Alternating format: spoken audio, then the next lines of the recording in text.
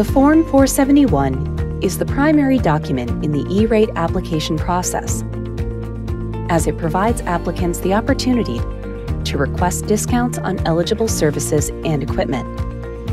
It must contain detailed information about the products and services ordered so that USAC can verify eligibility.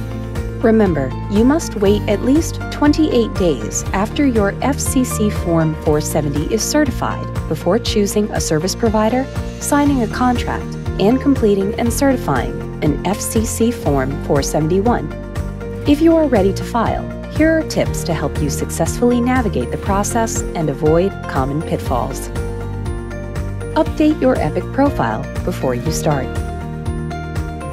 you will need to upload any new contracts you're applying for and all bid documents, including score sheets, school board minutes, and records related to contract approval, all correspondence with service providers, all bids received, winning or losing, and supporting documentation for your discount level into your Epic profile.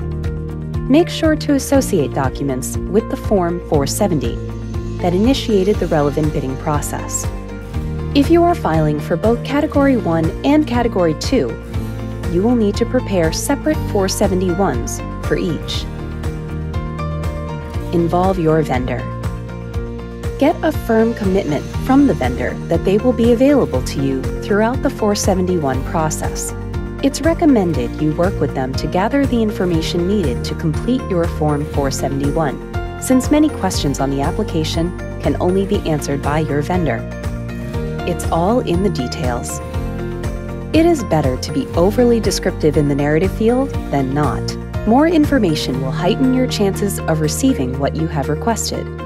In the narrative, highlight how the upgraded services will impact the learning environment. Describe any out of the ordinary circumstances that affect your project. Explain why more than the usual number of fiber strands are needed. And clarify why the cost of the project may be more expensive than average due to distance, terrain, etc. And remember, once your Form 471 is submitted and certified, EPIC will remind you to review your submission.